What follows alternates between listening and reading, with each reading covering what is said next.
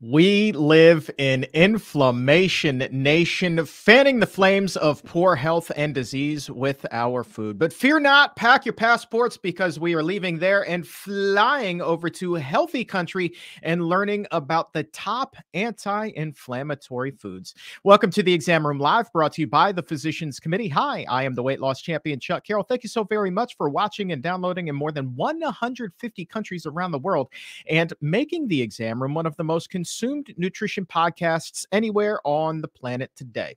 So, what are these magical anti inflammatory foods that can douse the flames of chronic disease? Well, we're going to find out with two familiar faces and friends of the exam room who are now teaming up together for an extraordinary new game changing project together.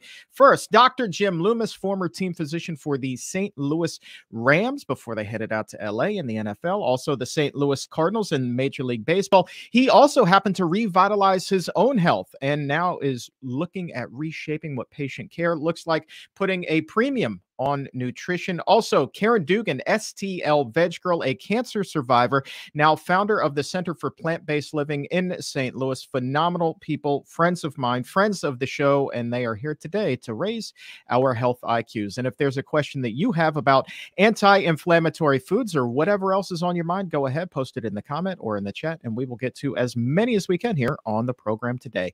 With that, we welcome the doc, the chef, Caryn Dugan, Dr. Jim Loomis, back to the exam room live. So good to see you both. Always a pleasure. Thanks for Chuck. having us on, Chuck. Yeah, it's great. Doc, let's start with you, my friend. Inflammation, before we get to the anti inflammatory foods, let's talk about what the difference is between acute inflammation and chronic inflammation. Yeah, that, that's a great point, Chuck. So, you know, um, we need to be able to create inflammation. You know, if you if you cut yourself or you get an infection, uh, our bodies have the ability to mount an immune response, and inflammatory response, to help us heal that wound or fight off that infection. That's that's obviously uh, crucial for human survival.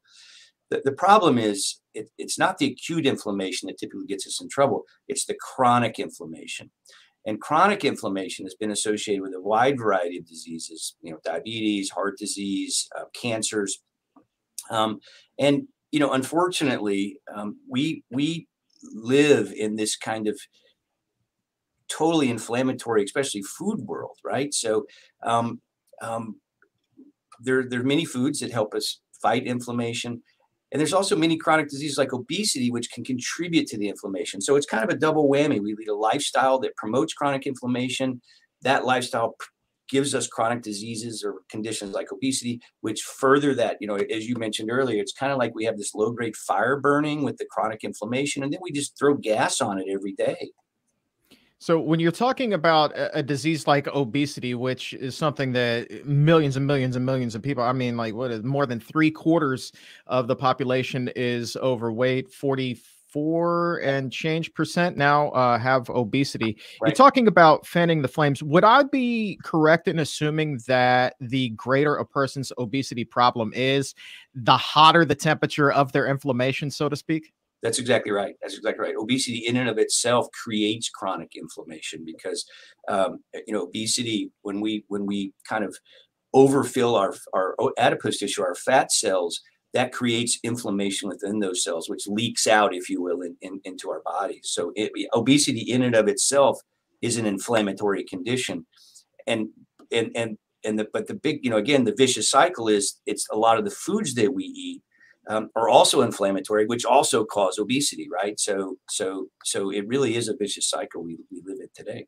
All right, let's get to some of the more anti-inflammatory foods. The thing that I like about the Doc and Chef project is that Doc, you've got, you know, the prescription, but then Caryn fills this prescription in the kitchen and really makes this the most delicious medicine of all time. So, what I want to do with you guys today is talk about some of the top anti inflammatory foods. So, instead of really keep putting logs on that fire, let's talk about eating some things that'll help taper out those flames. Uh, Dr. Loomis, give us your list of some of the top anti inflammatory foods. And then, Caryn, we're going to come right to you and we're going to talk about how we can make them delicious.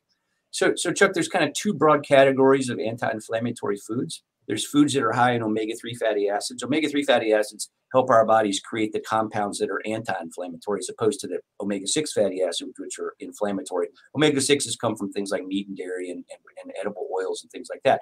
Omega-3s are things like chia seed and hemp seed and pumpkin seed and green leafy vegetables, um, uh, you know, things like that. So, so diets that are high in omega-3 fatty acids are, are anti-inflammatory.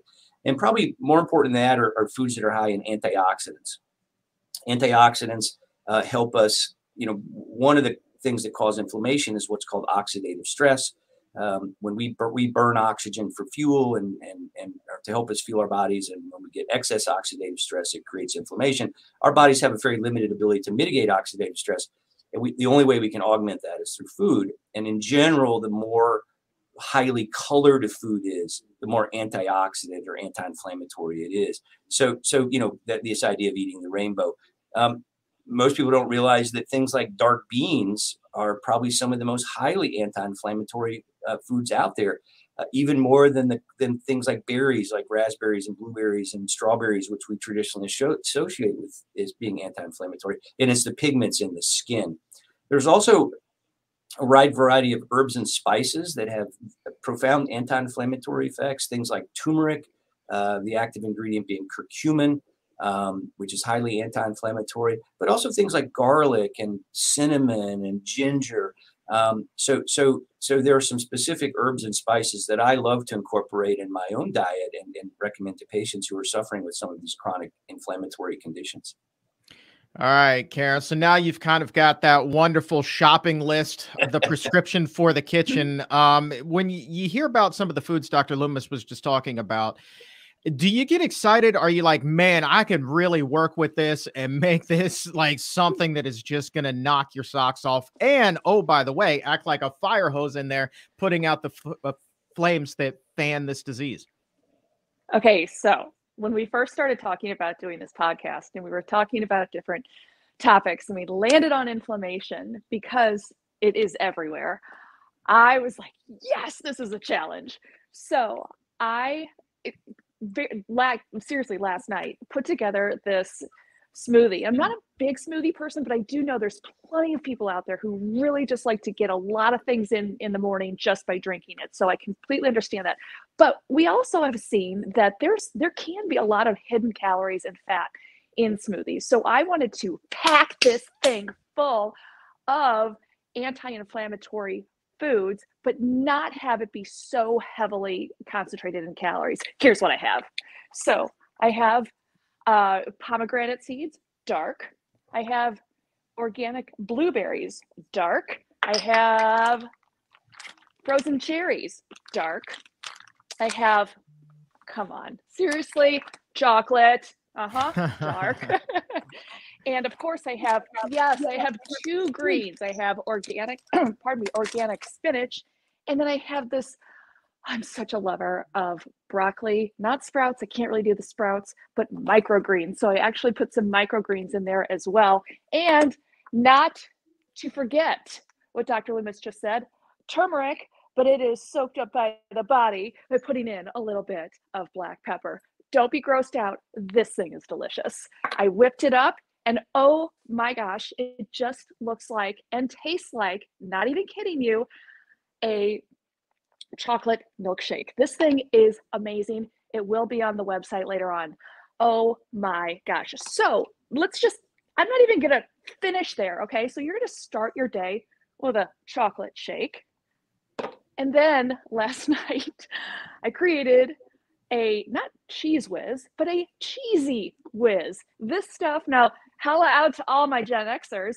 This is like the Cheez Whiz that we used to eat straight out of the jar. Not even kidding you. This is up on the website now, and I am going to dip in my cauliflower, steamed cauliflower, and broccoli. So, if you want to uninflame, chocolate and cheese is the way to go. All right. Now let's let's number one talk about this because I would be remiss if I didn't point out that about half of that chocolate shake looked to be mi- missing from the bottle already. I think that you may have had a healthy taste test. Can you confirm one way or the other, please? Affirmative, sir. Yeah, there it is. There it is. It is breakfast time there. And and number two, like on a more serious tip, um, I remember um, going over to my grandparents' house growing up, and my grandfather, man, he loved Cheez Whiz in a can. And I mean, he would take a cracker and he would somehow fill that. It must have been like a four inch high pile of Cheez Whiz on every cracker that he somehow managed to fit in his mouth. And I'm wondering, like, Dr. Loomis, what would the internal response be based off of granddaddy's four inches of canned Cheez Whiz versus the cheesy whiz that Caryn just whipped up at the Center for Plant Based Living? Well, cheese, cheese is is one of the more highly inflammatory foods we can eat, right? So it's the, it. In fact, dairy and cheese are the number one uh, source of things of, of, saturated fat, and saturated fat in of itself is high in omega sixes.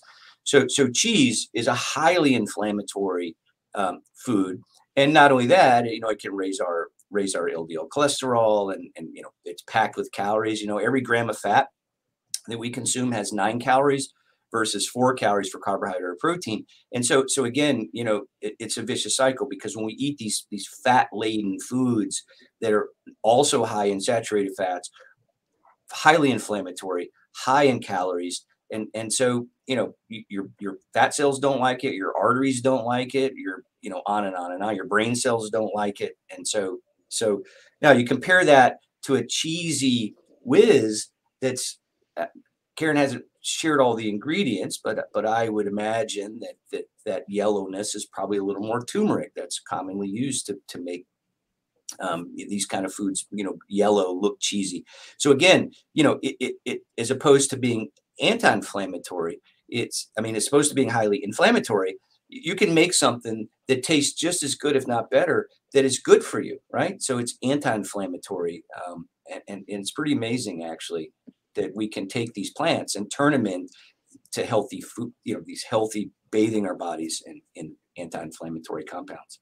Yeah, and Caryn, let's uh, run down the ingredients on the cheesy whiz right there. Is uh, the doc straight on when he says it's probably turmeric that's giving it that yellow tint?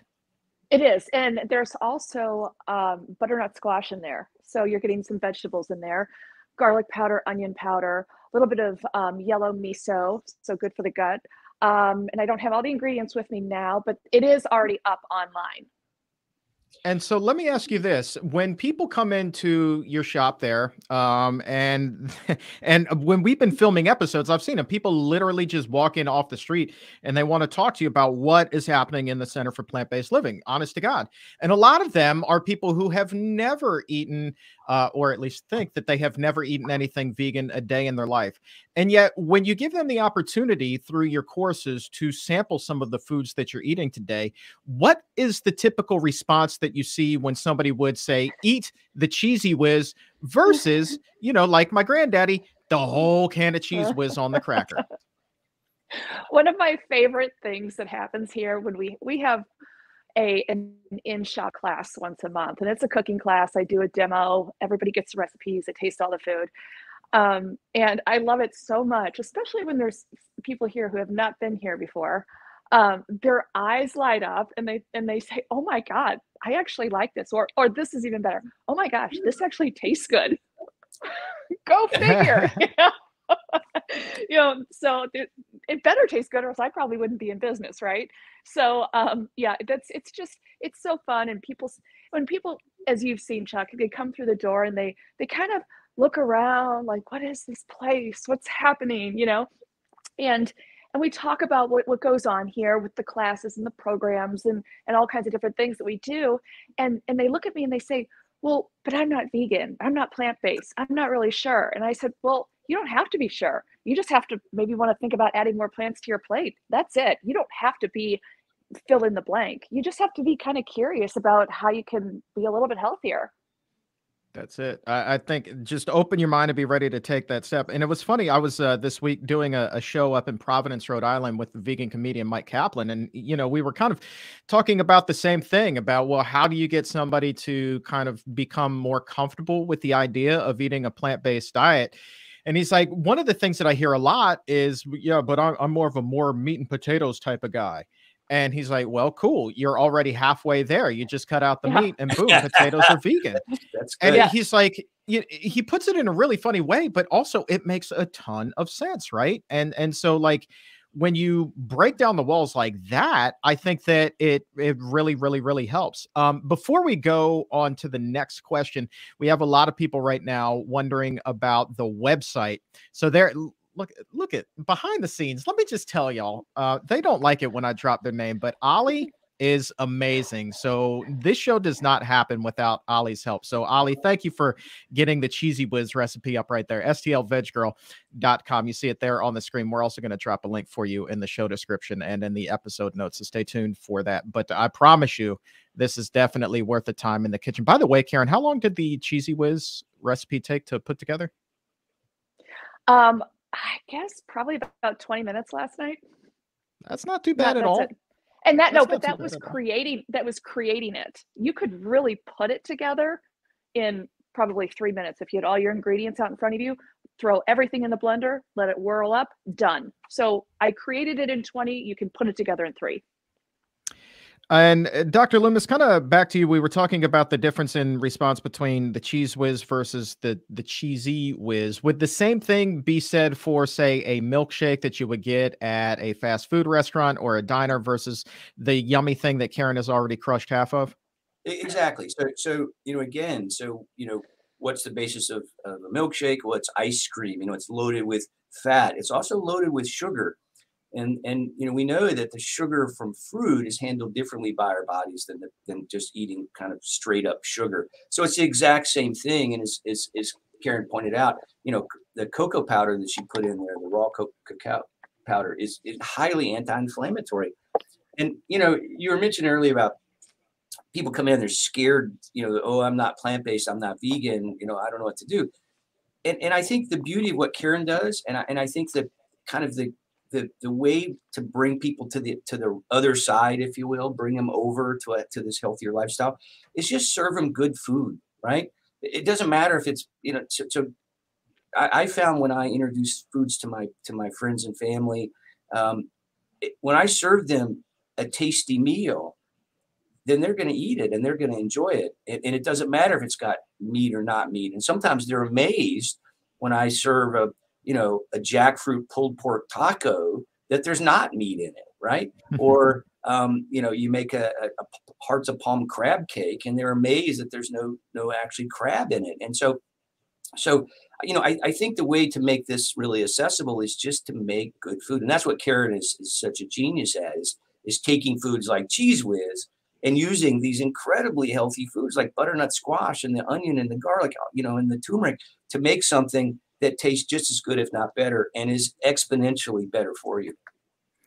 I'm telling you, she is a whiz in the kitchen. You guys just wait to see some of the recipes that they come up with on the Doc and Chef. I'm telling, wait till I mean, guys, just you wait just just you wait. We'll talk a little bit more about that in a second. Um, I want to take a question really quickly from Aaron at 1014. Going back kind of to what it was that you were just saying there, Dr. Loomis, about the chocolate in particular. But Aaron, uh, Aaron is like, but wait a minute, chocolate though has a lot of saturated fat. You've said that saturated fat is inflammatory. So how does one wrap their head around that? How do you figure this one out?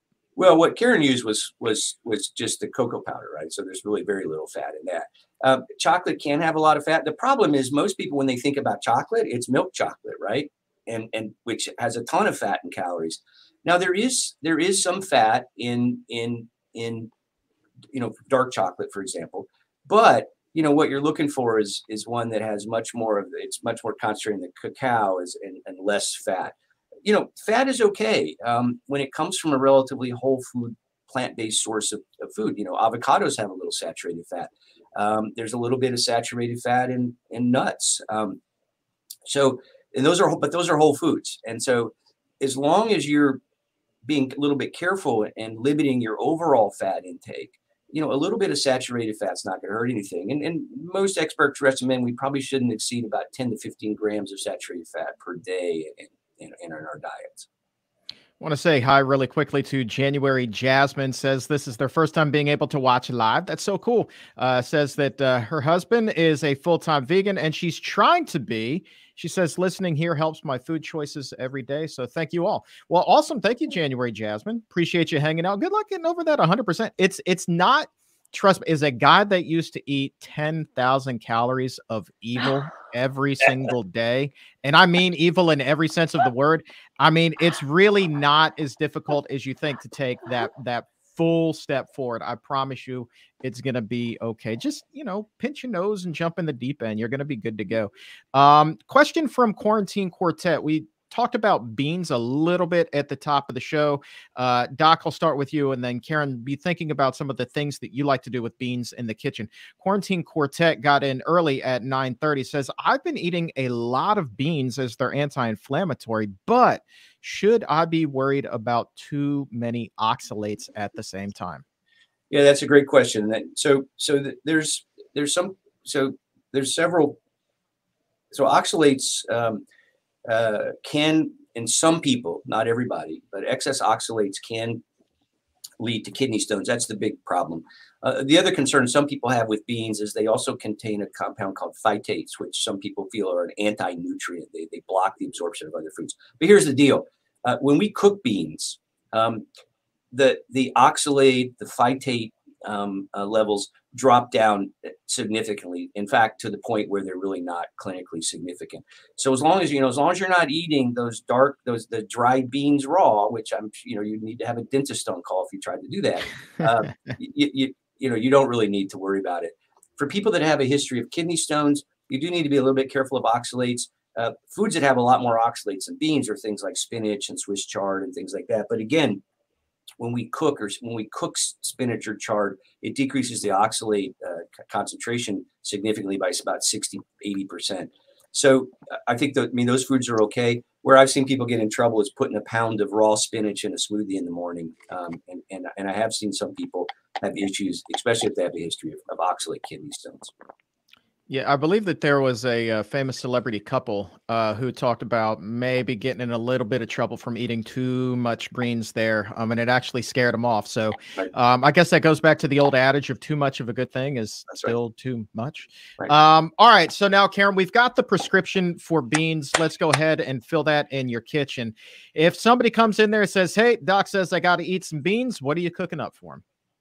Well, if they're new to adding more plants to their plate, I would say first probably don't start with the chickpea because it's very dense and it it you have to work your but your gut has to work a little bit harder to break that down. So I would say start with a lentil because that has a very thin skin and it's very soft. You could also start with a black bean and even um, a cannellini bean, which is an Italian white bean. You can find that at any grocery store. Start with those beans because they have very thin skins and they're very soft on the inside. Now, if you really do love chickpeas, it's my favorite bean. Um, start with a hummus. So you're doing kind of that pre-digestion for your body as well. So you can do a hummus. Um, you can even make black bean burgers or and you could throw some chickpeas in there. Again, you're grinding those up with your hands or a food processor. So you're pre-digesting those beans. So it's not quite as hard on your tummy. Yeah, we've got uh, quite a few beaners uh, among the exam roomies today. Quarantine Quartet says that they're actually making a bean stew while watching us this morning. Um, Michael is actually eating a bean casserole, so he's good to go there. Oh. Everybody's loading up on their beans. By the way, if you guys have a question for the doc and chef, post it in the comments or in the chat. We're going to get to as many as we can here as long as we've got the mailbag open. Uh, Want to take a question here from Kim, Dr. Loomis. And this is a pretty good one, I think. Uh, wondering about omega 3 fatty acids. She says uh, fatty fish is on a lot of best lists for fighting inflammation, but do plant based omega 3s have the same anti inflammatory properties? They do. Um, and so let's just talk about that real quick because it's an important point. So what we're what you're really looking for, you know, we like I said earlier, we have to have inflammation to survive, right? And in fact, we have an evolutionary preference for inflammation because we were, if we weren't able to heal wounds or fight infections, you know, we couldn't, we didn't last very long. And so it's felt that the optimum dietary ratio of omega 6 to omega 3 is somewhere in the less than five to one. So let's just say three to one, omega 6 to omega 3. Um, the problem is in the Western diet, you know, if you're going to McDonald's a couple days a week, you might be see omega 6, omega 3 ratios 50 to 1 and even people that are on more of a, a, a vegan or less healthy plant-based vegan diet who are using a lot of edible oils you can still see levels you know 10 20 to 1 so so the key here is to really get that ratio down and so there's two ways you can do that one is you have to decrease your consumption of omega-6 fatty acids, and that's primarily meat and dairy. Although again, like I said, edible oils um, do have a fair amount of omega uh, of omega-6s. For example, olive oil is about 13 to 2, which is you know higher than that kind of 3 to 1 that you want. The other way you can you can do that is is increase. The other thing you need to focus on is increasing your omega three um, um, intake. as I mentioned earlier, there's there is omega three in a lot of plants, typically seed nuts and seeds, and chia seed, hemp seed, flax seed, etc. Um, now, people talk about fish oil, which does in fact have omega threes. But let me ask you this, Chuck: Where do the omega threes in these fatty fishes come from? Right?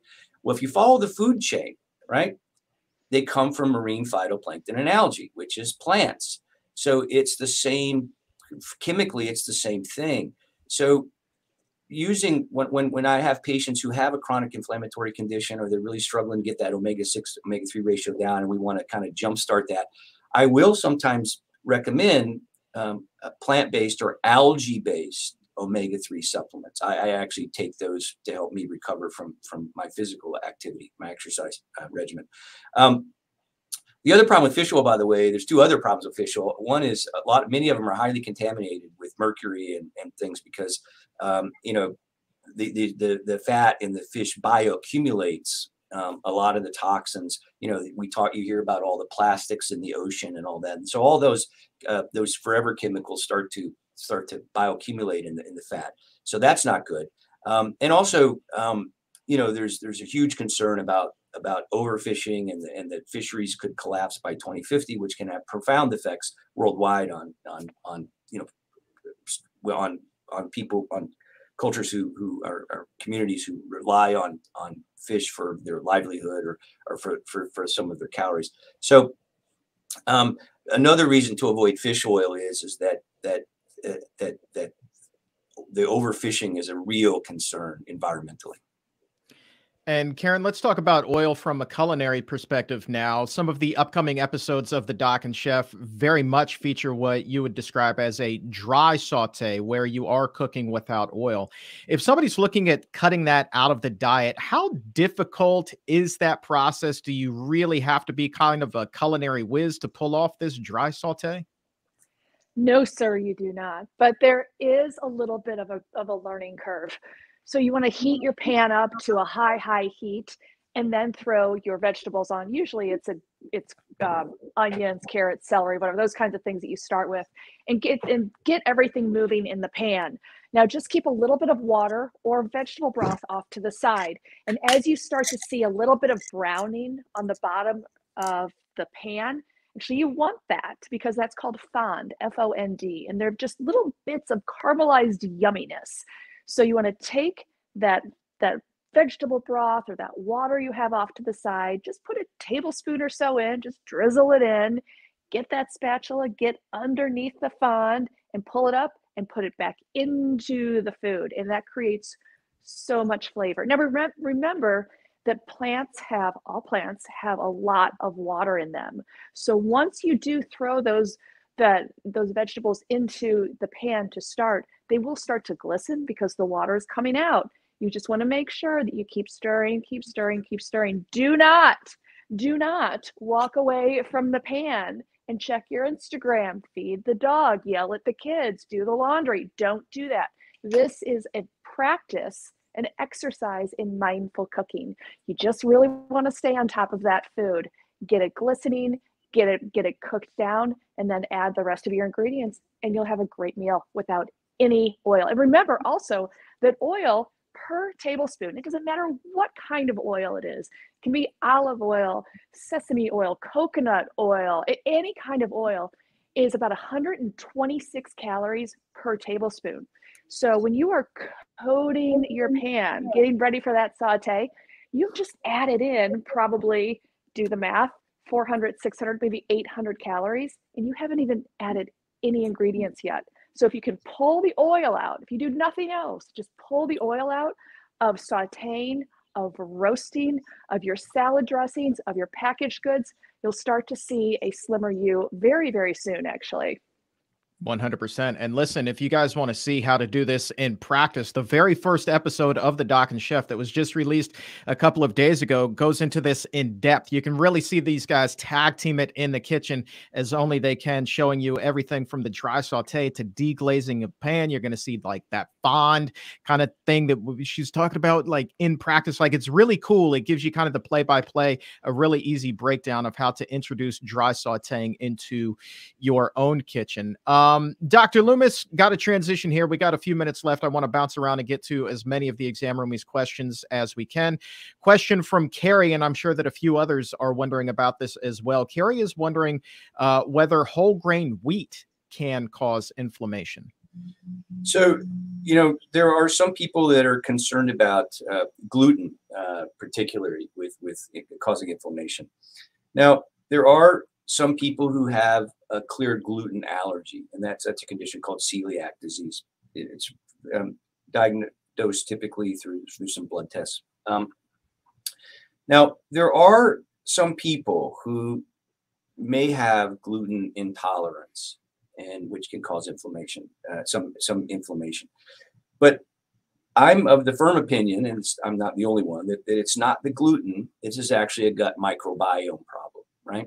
So when you know if you think of your body as a house we, have got it and each room in the house is an organ system right so we have a brain room we have a joint room we have a skin room we have a we have a, um, a respiratory room um, a thyroid room and imagine that you fill your house up with angry people and then a stranger wanders into the house well depending on what room they come into or the nature of the stranger dictates kind of what happens right so they come in the joint room, you've got you've got osteoarthritis or, or rheumatoid arthritis. They come in the skin room, you've got you've got you've got eczema or psoriasis. They come in the thyroid room, you've got Hashimoto's thyroiditis. They come in the respiratory room, you've got asthma or allergies.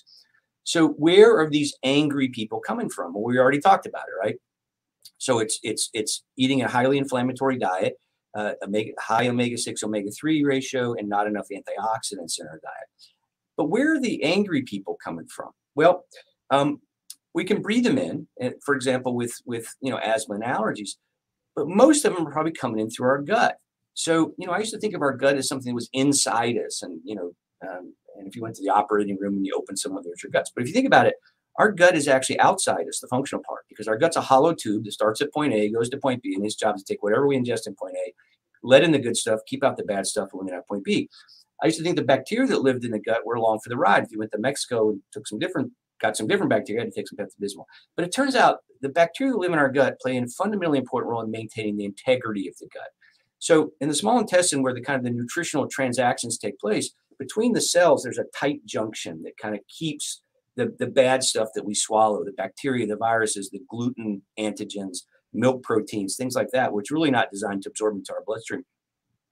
And when we populate our gut with bacteria that aren't supposed to be there, that gut starts to leak. So we leak things like gluten, which comes from, is found in, in grains like wheat, into our bloodstream. And that is the stranger that that triggers this kind of inflammatory can be one of the strangers that uh, triggers this inflammatory process so one of the beautiful things about a whole food plant-based diet is not only because it's got such a low omega-6 to 3 fatty acid ratio because it's got a very high uh, you've got you've got a high intake of these dietary antioxidants now all of a sudden you've kicked all the angry people out of the house.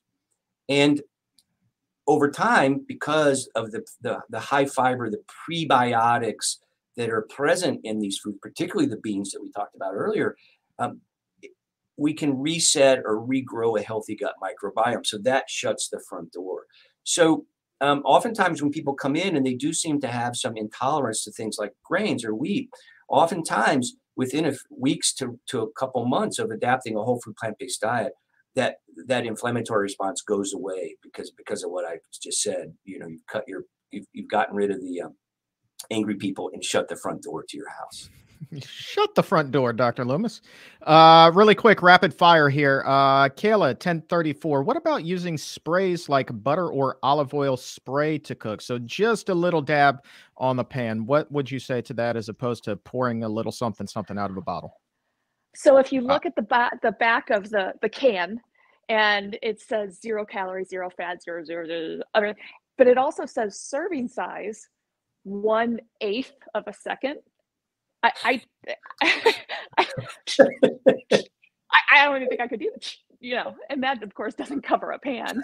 So no, we're going shh. Now, if, for argument's sake, yes, if you're even coating your pan with this aerosol can, then if you probably are getting less. But I mean, you're going to buy four cans a week, you know? I mean, come on. Uh, when did when did when did time become a serving size? Right? I mean, eh, like how much for this? An eighth of a second? What the heck does that even mean, man? And secondly, like but, I don't know about you, but even on my phone, it's like it's like how how does one timeout? Can you set an alarm for an eighth of a second? Like it's up before you even hit start. Like, come on, like that's just right. crazy. Right. I, I think like I think what they did was is they figured out how little you could spray so that the the the, the USDA said that there's no calories in it. So they worked mm-hmm. it backwards, right? So how can we call this zero? How can we call an oil-based product zero calories? Well, they're, they're you know we'll, we'll get below the minimum serving that that that triggers the labeling, right? And it turns out it's like an eighth of a second. So that's wild, man. That I'm telling you, man. Oh, that's just so wild. All right, uh, we got a lot of fermentation fans in the house today. 1029. Don't worry, be happy. Awesome name. Uh, hi, Chuck and Exam Roomies. Question for the doc: Are fermented foods such as sauerkraut and kimchi anti-inflammatory as well? Well, so so the, so we talked about the role that gut bacteria play in triggering inflammation or, or having a, a, a what we call dysbiosis, having a disrupted gut microbiome. And by the way, you know, if we could design an environment in the modern world to destroy the human gut microbiome, we've done it, right? So babies are born with with little to no bacteria. You have a vaginal delivery, you breastfeed, you're getting you know bacteria from your mother the rest of our lives, these healthy bacteria typically come from the dirt. So we the rest of our lives, we got our food out of the dirt. We play in the dirt. We got food that had bacteria on, you know, that had dirt on it. We drink water that had bacteria on it. Fast forward to the modern world, C-section babies. We don't breastfeed anymore. We put so many pesticides and herbicides on our food. We have to scrub the dirt off. We've we've we've you know, polluted the water, so we chlorinate it. We pass out antibiotics like they're candy starting in an age, which can't tell the difference. And as, as opposed to the high fiber, low fat diet, which feeds healthy gut microbiome, we eat a high fat, low fiber diet, which which destroys the human gut microbiome. So fermented foods are a great way to help restore the gut microbiome, and, and I'm a big fan. Um, now, you know things like sauerkraut and pickles you want to be sure you're not getting the ones off the shelf that have been pasteurized which the bacteria have been have been killed or destroyed. What you're looking for is one that's in the refrigerated section that has a live culture. It's very easy actually uh, fermenting your own making your own pickles and sauerkraut isn't nearly as hard or kimchi isn't as hard as you think it might be. Uh, there's a lot of great books out there. There's a book i recommend called fermenting vegetables. Um, it's a husband wife couple uh, makes this very accessible. So I'm a big fan of fermented foods. Caryn, do you whip some up at the shop? The fermented You know, every, um, every once in a while I do. I kind of go in waves. Um, but actually, Jim does it at his house. And don't you have a, a crock, Jim? I do. I have a I have a stoneware crock that I make. Yeah. I make kimchi and sauerkraut. My favorite though are tabletop pickles. Um, you know, I go to the farmer's market and I get some okra I, and I don't really scrub them. I leave some of that bacteria on there. I make a, a, a brine out of, I use distilled water because the chlorine will kill the bacteria. And then I put all kinds of herbs. I put spices. I put fenugreek seeds and mustard seeds and peppercorns mm. and dill and and, and um. onion and garlic and um, um, and and some chili peppers and uh, put a little cap on it. Put I mean put put a little cheesecloth on it. Put it on the tabletop. And in, in about two or three days, it starts to bubble and it's fermenting. And then I, I'll, after a couple days, I taste it, and when it gets that kind of sourness, I'll cap it and put it in the refrigerator. Rarely lasts more than a day or two. And I've done, I've done, you know, pickles, you know, cucumbers, okra, beets, carrots. Um, one of my favorite things to do is broccoli stems. Um, broccoli stems are oh, highly yeah. porous, and they really soak up all of that wonderful flavor. So yeah, it's, it's one of my I love. This is you know we're getting into farmers market season. So I'll get my fermenting game back back up and running here pretty soon. Oh man, uh, pleased to be bringing some this weekend when we're all at the Fairfax Veg Fest together, just outside of uh, Washington right. D.C. Um, yeah, right. yeah, the Doc and Chef live in the D.C. area. So this is actually one of the better uh, Veg Fests in the entire country. It's put on by Gwen Whitaker, the founder of Green Fare Organic Cafe and Restaurant. Just about a stone's throw from Dulles Airport. And so uh, Sunday, April 23rd, we're all going to be out there. I'm emceeing that day. The Doc and Chef are going to be live and in person. Do you guys know what you're cooking up yet? We have an idea. Okay, there it is. Look, you want to know? Uh, I mean, well, I, I, didn't know if you wanted to keep it a surprise or not, but well, okay. So we're going to be. Uh, let me just tell you, we're going to tackle the the three topics that we're going to tackle. First, we're going to do protein, of course, and then we're going to slide into fiber, and then end with soy. There it is. Those are the three biggies right there. When it comes to plant based nutrition, yeah. those are the three biggies. Y'all are hitting on the holy trinity. And you see Ali coming through again. FairfaxVegFest.org. Let me, Ali is just on the ball today. I know. Yeah. Clap it up for Ali in the chat, please. Thank you. Uh, anyway, so uh, check out FairfaxVegFest.org. Appreciate you, Caryn. Uh, FairfaxVegFest.org for a full speaker lineup and uh, all the details. Dr. Barnard will also be there that day, along with uh, Dr. T. Colin Campbell, myself, Robert Cheeke, Vegan Strongman. He's going to be there. Matter of fact, the entire uh, Vegan Strongman team, the Vegan Gym, they're going to be out there. I mean, just incredible feats of strength. I saw these guys out in Los Angeles a few weeks ago who had managed to get a line of people down the street waiting to do pull-ups. It was like a test. and I have never in my entire life seen people so excited to exercise. But man, like they're, I'm dead serious. Like they are surrounded by nothing but like fried food. It's all vegan, but like nothing but junk food essentially. And then here are these like really fit guys, and they're convincing everybody to come and do pull-ups. And I'm like, these guys have broken through. They have somehow cracked the code that healthy is cool and I was I was just really impressed. So I'm curious to see how long the line's going to be this weekend as well. So anyway, fairfaxvegfest.org and of course, look, the Doc and Chef. I do not have a lot of time in my life, but the time that I do have, I devote to projects I believe in. So I am thrilled to be a producer for this project because what Dr. Loomis and Caryn are able to do together is write the prescription for health, and then Caryn fills it in the kitchen, and it's all done in 10 to 20 minutes. And it's just these fun, exciting, educational, enlightening episodes that quite literally can plant the seeds for you to change your own life and improve your own health. So the premiere episode is out now. There's a link to the Doc and Chef YouTube channel right now in the show description. Go ahead, watch that, like the video, subscribe to their channel because, guys, I'm telling you, I'm not overselling this when I say this is the next big thing when it comes to the plant based community. So, Doc, Chef, it's been a real pleasure being able to share some time with you today. And thank you guys so very much for your time and raising our health IQs with us here on the Exam Room Live. Cheers. Thank you, Thanks, boss. Yeah. she's going to kill the rest of the chocolate smoothie now. I guarantee you that.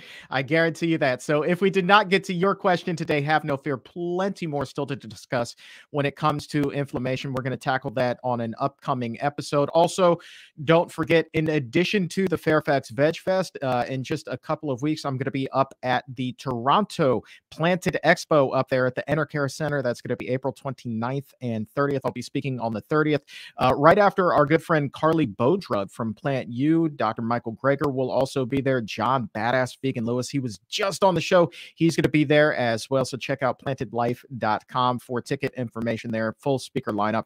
And then, of course, the exam room live. We are going to be in New York for a major, major, major show on July 12th. Would love for you to come out and celebrate with us as we continue our 12 million download celebration, 100 million streams here on YouTube. And we're going to do it up big time style at the Museum of the City of New York on July 12th. So pcrm.org slash events to secure your ticket today. We sold out LA, so I do not expect New York to be any different. So lock in your space today. pcrm.org slash events. But for today, this episode, that is all the time that we have. I want to say thank you one more time to the doc, Dr. Jim Loomis, and the chef, STL Veg Girl, Caryn Dugan, for being here and helping to raise our health IQs. And of course, to the crew behind the scenes for making the magic happen. You guys rock. And to you, exam roomies, thanks for raising your health IQ with us. Doing it a little bit early this week, but nonetheless, very educational, and enlightening. All of our health IQs are up. And on behalf of everybody here at the Physicians Committee, I am the weight loss champion, Chuck Carroll. We'll talk to you again very soon. But until then, keep it plant based.